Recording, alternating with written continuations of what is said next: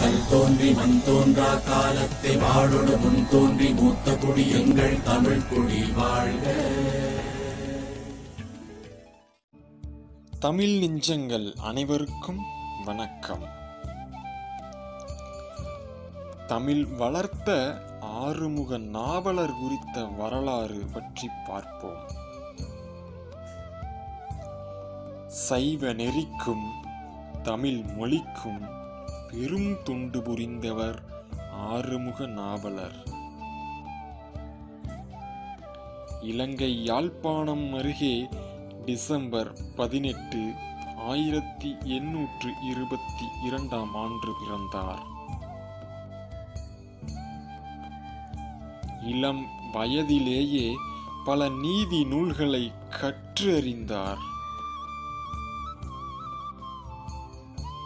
பள்ளி பருவத்திலேயே தமிழ் சமஸ்கிருதம் மற்றும் ஆங்கிலத்தில் புலமை பெற்றவராயிருந்தார். அந்நியர்களின் ஆதிக்கத்தால் சைவ நெறியும் தமிழ் மொழியும் நாகரீகமும் புகழ் குன்றி வருவதை பார்த்தார் நாவலர். இதனையடுத்து இலங்கை மற்றும் தமிழகத்தில் சைவ பிரசங்கம் செய்தார் நாவலர். பல இலக்கிய நூல்களை அச்சிட்டார். பெரிய புராணத்தை வசன நடையில் வெளியிட்டார்.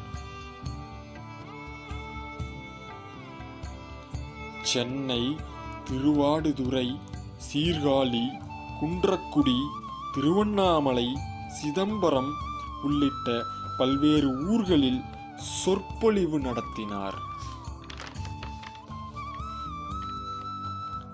பல இடங்களில் சைவநெறி போதிக்கும் கல்வி நிலையங்களை திறந்தார். சிதைவுற்ற நிலையில் இருந்த பல கோவில்களை சீரமைத்தார். தமிழுக்கும் தமிழ் ஆன்மீகத்திற்கும் புரிந்த தொண்டினை போற்றி இலங்கை அரசு தபால் தலை வெளியிட்டது.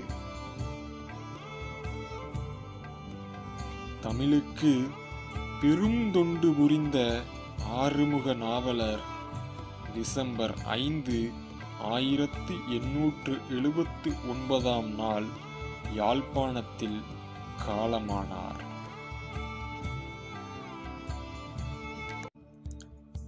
தமிழ் மொழிக்கும் ஆன்மீகத்திற்கும் ஆறுமுக நாவலர் செய்த தியாகம் காலத்தால் அழியாதவை. நன்றி. வாழ்க தமிழ்.